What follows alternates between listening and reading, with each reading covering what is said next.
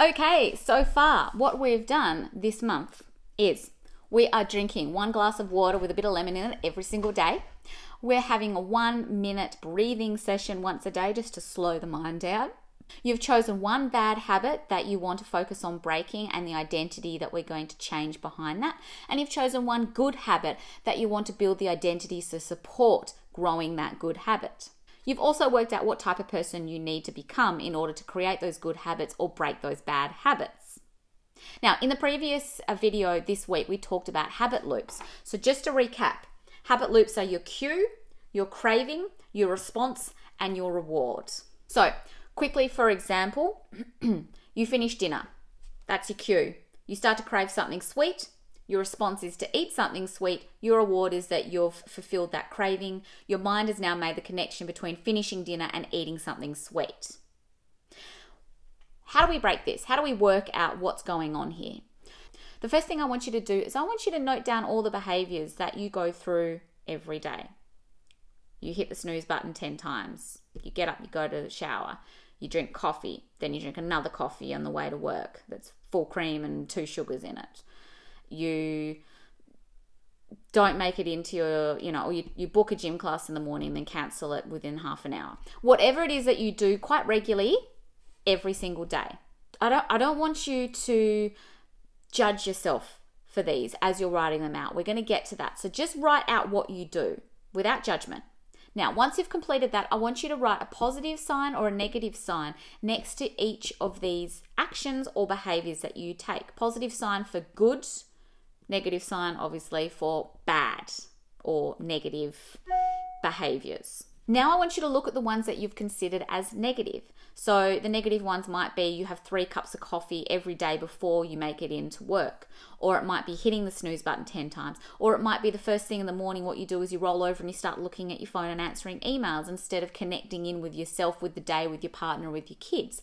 Look at the ones that are negative. And then I want you to identify the cue behind it and the response that you do frequently. So if your bad habit is you do always eat chocolate at 3:30 or you eat something sweet and crappy at 3:30 at your desk, what is the cue behind that? Is it always that it's that 3:30 time and that's just naturally as soon as you see that on the clock now on your computer, you automatically want that?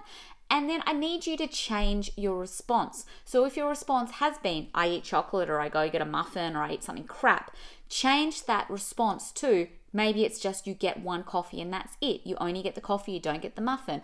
Or you go and take yourself outside and you walk. As soon as we the cue is still there, the 330, so we've got that. We've got to work around that. The craving is still there. You need to pick me up, but your response changes to something a lot more healthier. And yeah, it's going to suck for a little bit because you're so used to eating that chocolate.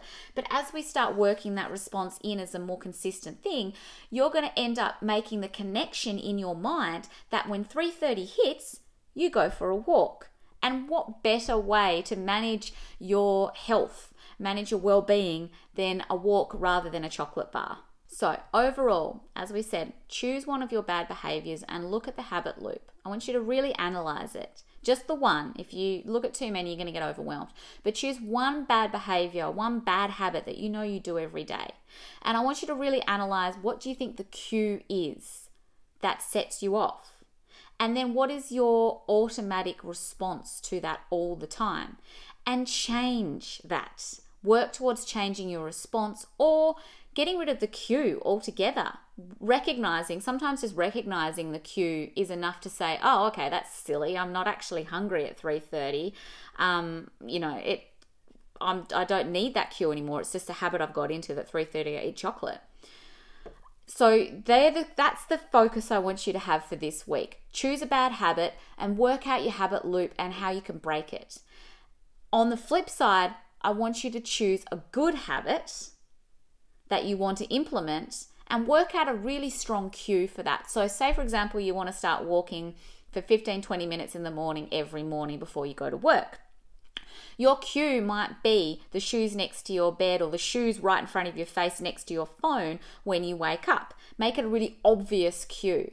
Your craving it's going to come after a while, but the craving is that feeling that you get at the end of your walk. That feeling of, you know, I'm a lot more alert, I'm a lot more awake, I feel fresh and ready to go. The response obviously is going for the walk, and then your reward is fulfilling that craving. So, over time, you're going to create this incredible habit and this credible connection in your brain that when the alarm goes off and the shoes are next to the alarm, automatically you go for a walk. I hope that helps. Hit me up below, guys. Let me know how you're going. Um, I'm really excited. I'm really loving these little challenges, and they're just making such a great impact in my life and in a lot of other people's lives that I've talked to as well. They're only small little tweaks, but if we start to understand and recognize what our habits are, what our behaviors are, and how we need to and can change them, we can really make some seriously large improvements over time in our life.